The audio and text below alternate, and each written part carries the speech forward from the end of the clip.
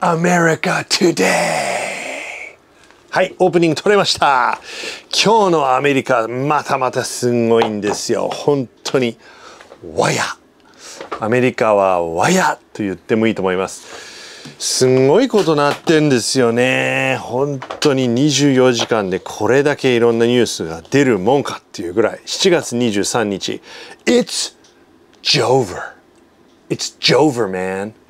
今日まず最初のネタなんですけど、この大統領バイデンが辞任したっていうのは昨日、まあ、こっちでいう月曜日アメリカでいう日曜日の午後そこから24時間ぐらいでもう大騒ぎです。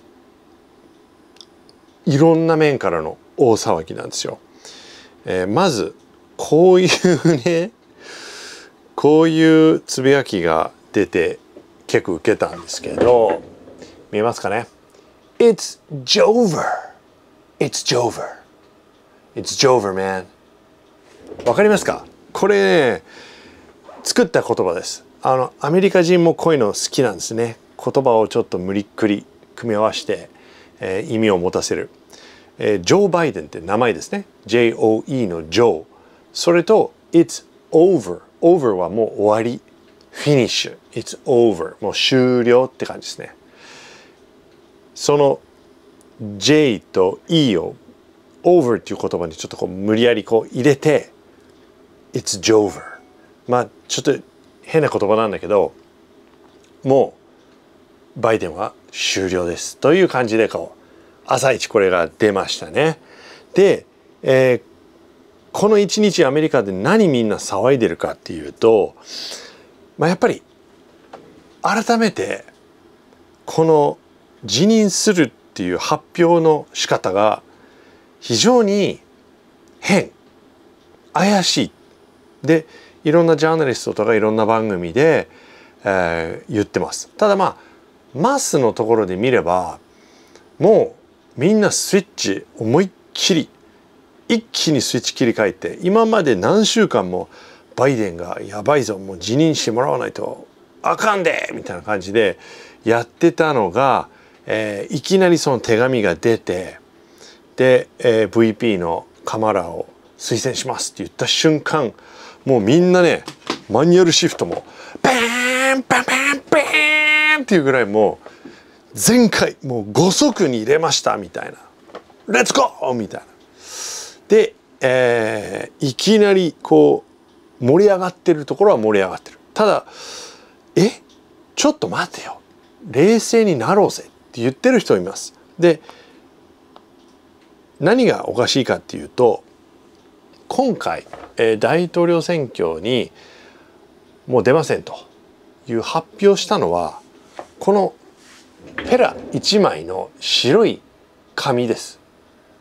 白い紙に、えー、いろいろ書いてあってで最後にサインしてあるんですよね。で一番ドア頭にまあジョセフ・ R・ バイデン・ジュニアえー、7月21日2024年って日付と名前だけあのそこに書いてあるんだけど要するにオフィシャルのこうハンコとか何もない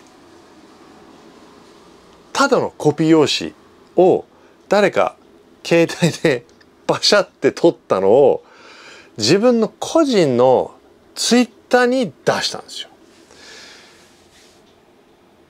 まあやっぱりね自分も冷静になって朝またニュース見たらいやおかしいよね。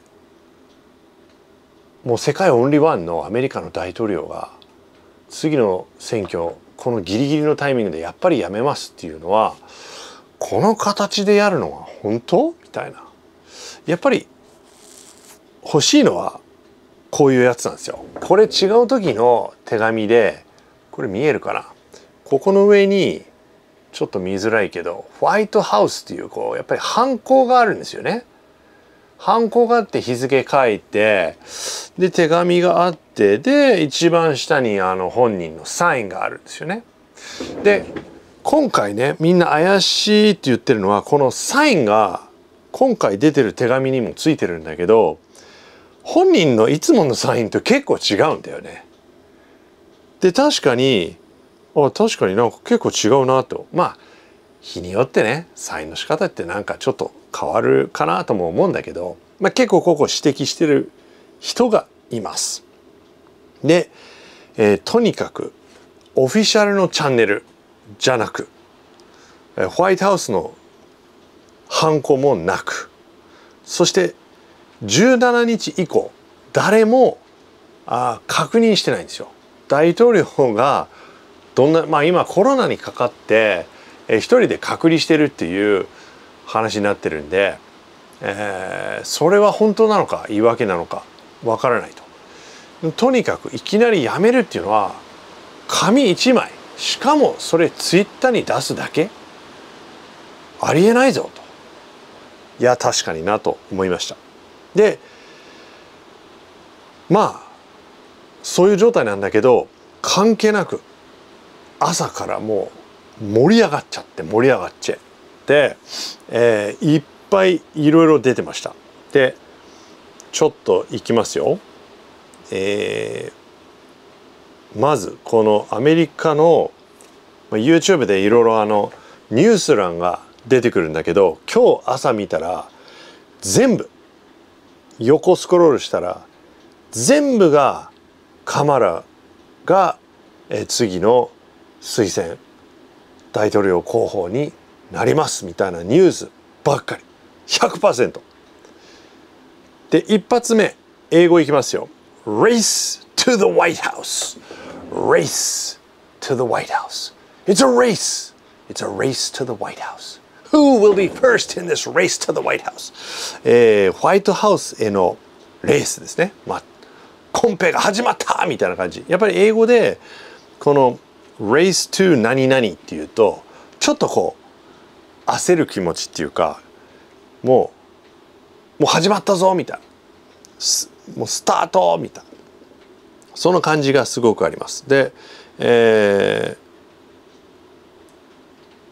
ー、もうそこに Kamala Harris marks first full day of presidential 何々、えー、カマラ・ハリスがもう、えー、大統領候補の1日目みたいなもう書いてるんですよ。昨日発表したばっかりでまだバイデンから直接言葉で誰も何ももらってないし写真1枚もないんですよ。これも言ってる人いたけど普通あんなぐらい大事な出来事があったら誰かが1枚この手紙をサインしてるところを取るでしょう。取ってそれ証拠として出すっていうかまあアーカイブ大統領のやったこととか全部カメラマンさんが入って動画撮ったり写真撮ったりでそれをホワイトハウスのこのアーカイブ大統領がずっと何を毎日やってたかっていうのを記録してるわけ。それもないんですよ今回。はい次いきます。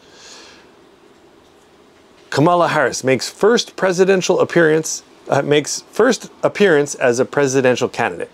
えー、この大統領選挙のカネディートねこのあ候補として初めて出ますみたいなでテレビに出たんですよ。で、えー、ちょっと待ってね今見つけます。はいもう一つ。これがこの間英語でちょっと紹介したキャンペーントレイル覚えてますか？キャンペーントレイルこのキャンペーントレイルあまあキャンペーンするこの道に乗って旅立った。VP のカマラ・ハリスキャンペーンのトレイルに乗った。みたいな。そういうあ見出しのニュースもありました。これもねこのスピードがおかしいやっぱりありえないと思うんですよ。だ全部これがもう1週間とか10日とか2週間前ぐらいにいろいろこう準備してあってプランニングされててでじゃあ日曜日に発表して月曜日からメディアで盛り上げていこうぜみたいないろいろ仕掛けがあってもう一つあのウェブサイトもすぐに出たらしいですね。今まで、えー、バイデンバイデン・ハリスをあ2024年選挙で選びましょうっていう、まあ、ウェブサイトがあってそこで募金できたりとかいろいろ情報があるんだけど発表した直後すぐにウェブサイトが切り替わってハリスの名前がまあトップになってバナーも変わって、えー、ハリスに募金できるようになってたと。発表してそれからウェブサイトを作るってもう絶対間に合わないですよね。どう考えても。そんなあの数時間でできるようなものでもなく。だからこれは事前になんか業者さんに頼んでね。じゃあこういうふうにウェブサイトを作ってってこのバナーでやってよっていう話があったんじゃないかと。言ってる人もいました。はい、あと英語で行きたかったのは unanimously endorse この言葉も結構大事だなと思って。今回が、えー、まあ急にこのタイミングでバイデンが辞任してカマラよろしくって言ってるのいいけどえ本当にいいのかっていうこう不安が残るとまずいっていうことなんで、えー、英語で出てきたこのすごい力のある言葉っていうのは unanimously endorse これさっき日本語で調べましたけど全員一致で支持する。全員一致で支持する。通じました。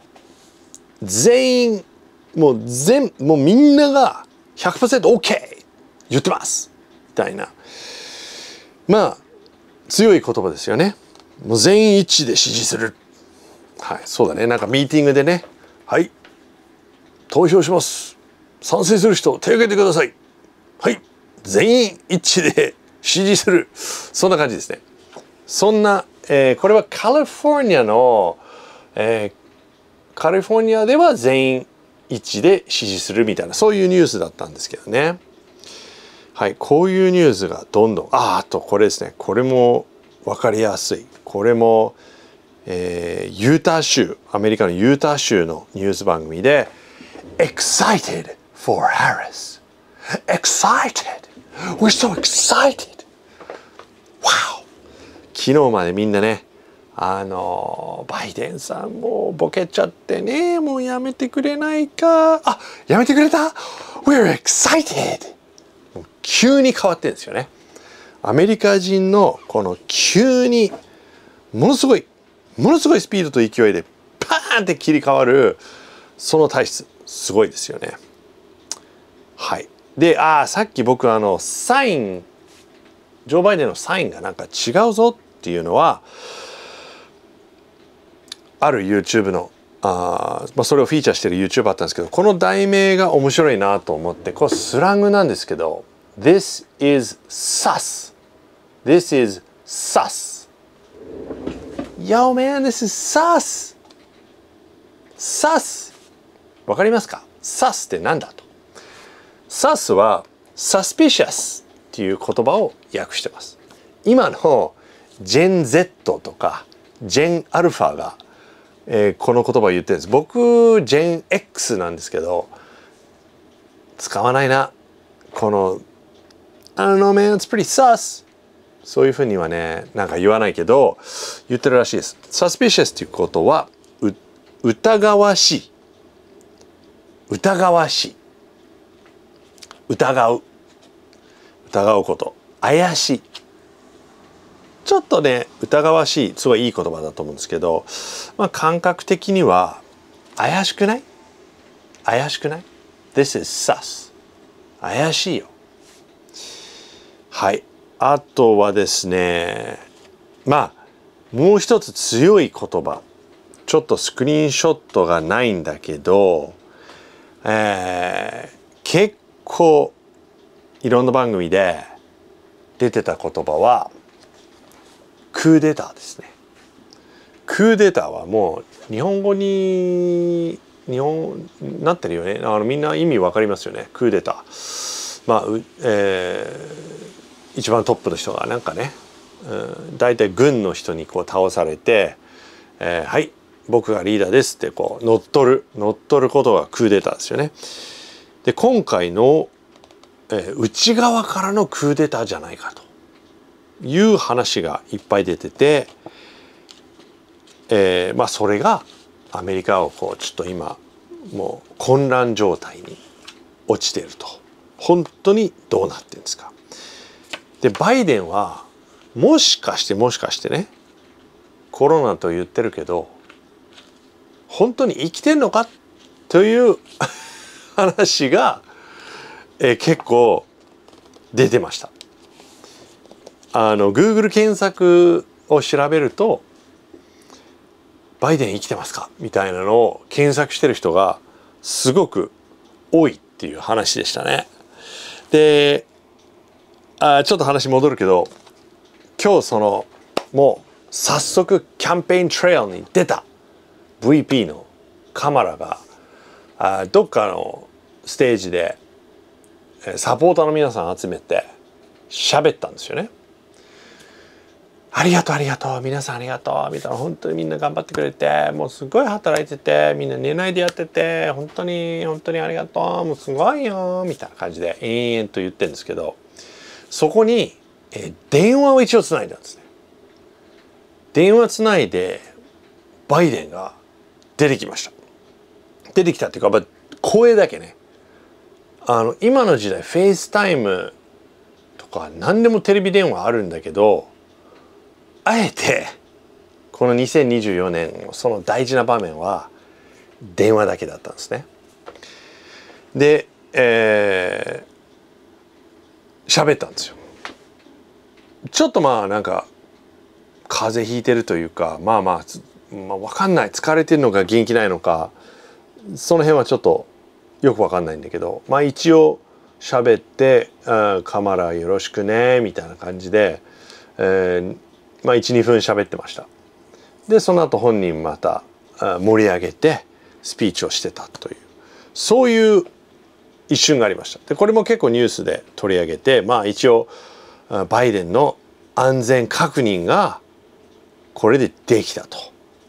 ちょっとまだカメラの前には出てくるほど元気ないんだけどでもしっかりと大統領の役割は果たしてますよとそういうのを言ってました。はい。なんとなく理解はできましたでしょうか？えー、今日はアメリカはぐちゃぐちゃです。あのこれね1週間2週間分かんないけどしばらくこの話題が続くと思います。いろんな問題がこれから出てきますね。まあ一番最初にバイデンがまたどっかのタイミングでカメラの前に出てきてなぜ最後そう決めたかっていうのをやっぱり理由付けが必要ですよね。それが多分みんな待ってると思うんですよね。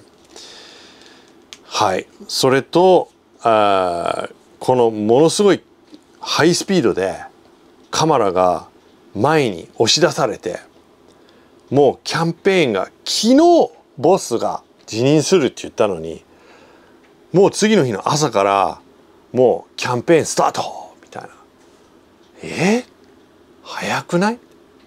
それと大きなあの問題抱えてるのは法律的に、えー、バイデンのキャンペーンに集まってて寄付金がそのまんま彼女にあげれないかもという話が出てるんですよね。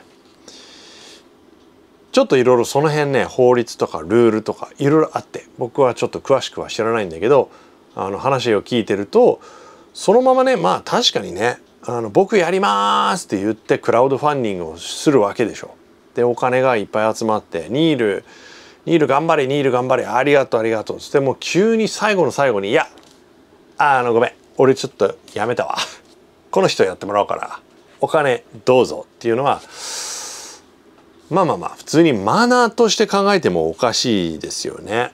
でもしそれ OK だったらいろいろなんかずるいことができちゃうよね。あの人気の人を先に出してお金集めて後から違う人にこうバトンタッチっていうのはやっぱりちょっと、えー、責任問題がありますね。はい。じゃあ最後にもう一つこれいきましょう。この英語で今日は終わりたいと思います。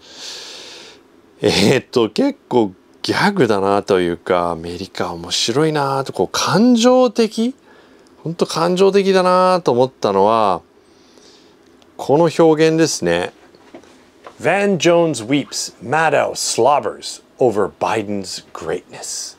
この題名が 結構キャッチーであのまずヴァン・ジョーンズっていうのはねこのテレビのコメンテーターなんですけど黒人のコメンテーターなんですけどすっごいバイデンのこと大好きなんです。でトランプが大嫌いな人なんですけどこの人がいろいろ最近あの結構バイデンやめてもらわないと。困るんですよ。彼はみんなのためにやめてもらわなきゃいけません。みたいな。一生懸命言ってたんですよ。そうするとこの、まあ、辞任するっていうニュースが出てまたこうやってテレビで喋ったら実際泣いてるんですよ。本当こう見てくださいこの顔。こういう感じでもうティッシュ持ってもうあのー、なんか仲間があの本人がなんか亡くななんか死んじゃったみたいな感じで。もう彼が本当に本当にいい人ですごいこの国を愛しててそんな感じで泣いてんすよ。なんかしょうもないなと思うんだけどあのまあ weeps っていう言葉ね。weeps weeping weeping ってもう結構ガーガー泣くって感じですね。he was weeping crying ね。crying は普通のあの泣いてるっていう。言葉なんだけど weeping ってちょっと悲しさが入るね。crying はまあ本当ただ crying 涙を流してた。大泣きって感じなのかな。結構大泣きしてる。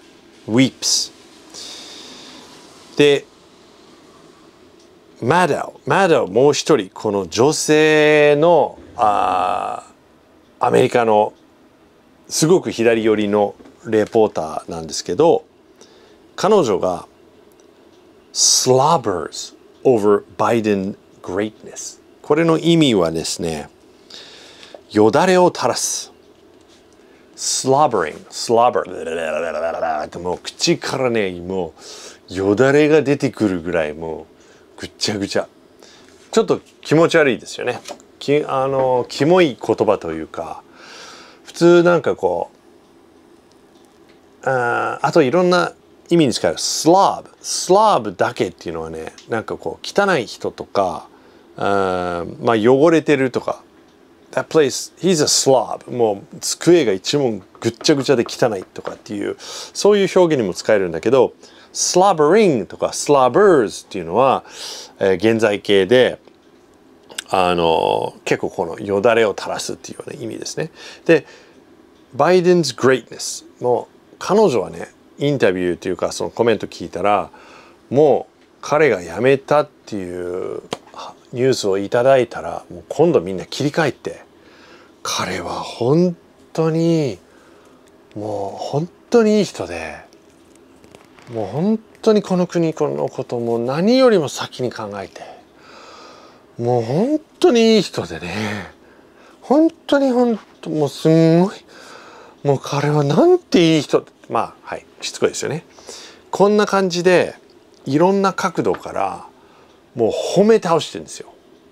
とにかくこう褒めて褒めて褒めて。まあ多分ねやめたくなかったんですよね。これも結構まあ噂話というか話で出てるけど全然本人はやめたくなくて周りから多分やめれよこの GG っていう。話が出過ぎてもうそれに負けちゃって誰かあの手紙を書いてでちょっとはいこんな感じで書いたからもうサインしろよっていうもうもうしょうがないからサインしてやるかみたいな感じでだからテレビの皆さんが今一生懸命褒めて褒めてご機嫌を取ろうと。バイデンをまたちょっと盛り上げてもやってやっとやめるって言ってくれたから褒めようよみたいな感じでまあこの表現が出ましたね。slobbers over Biden greatness まあ本当いろんな番組で、えー、割とこうその左寄りの番組を聞くとみんなが泣いたり彼のいろんなやってきた出来事を語りながら泣くとかねおじさんたち泣くのって気持ち悪いよね本当にねなんか本当に悲しいこととか本当に誰か死んだとかその本当いい人が亡くなった時とかもちろんそのエモーションエモーショナルにこうなってほしいし見たいんだけど今回のこのやり方で泣くか？みたいなちょっと変だと思います。あとヒューモアミームがまた盛り上がってますね。これはミームが盛り上がりますね。えー、これ訳せるかな ?In most popular move of presidency, Biden quits、えー、今回の大統領難しいね。今回の大統領期間中最も人気の動きが出ました。バイデンが辞めることみたいなこういう感じかな？ようやくまあ要するにずっといろいろ言われててやっと大統領としていいことやってくれた。やめたこと。みたいな。そんな感じのギャグも出てましたね。はい。今日全部できたかな。はい。たくさんありましたけどえー、30分近くいっちゃいましたね。今日はゆっくり喋っちゃったな。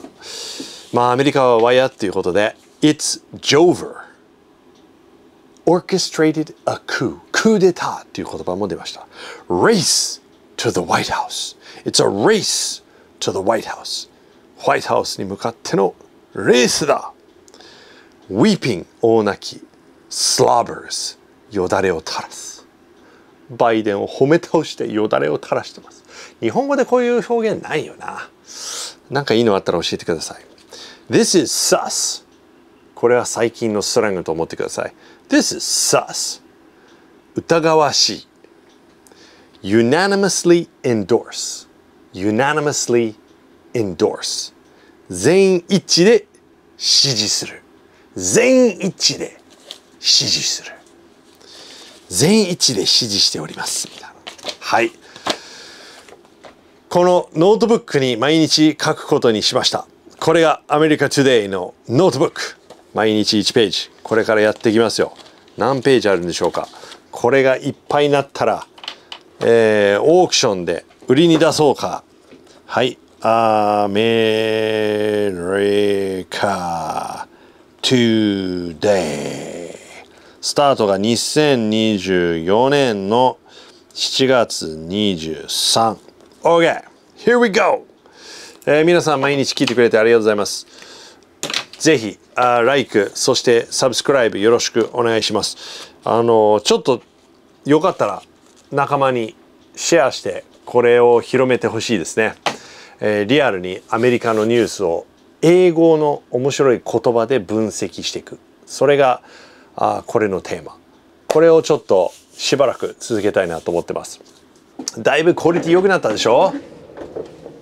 照明とマイクと。